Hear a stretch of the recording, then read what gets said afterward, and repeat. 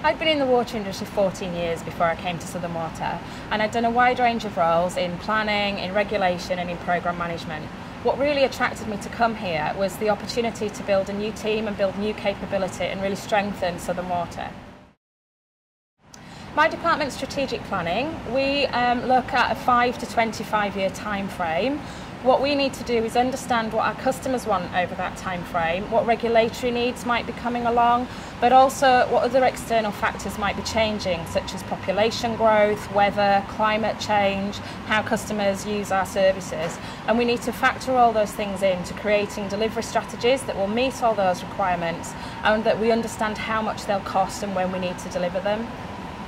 We also have to look at um, what research and development we need so that we really are tackling those long-term challenges. It's a great time to come because again we're doing more expansion and capability building for the team and for the company.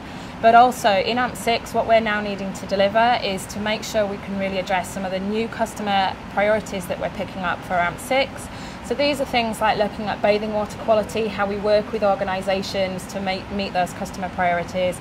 Also looking at how we work with landowners on catchment management to improve the environment there. So we're doing some things that are quite different for us, so it's a really exciting time to come and do something new.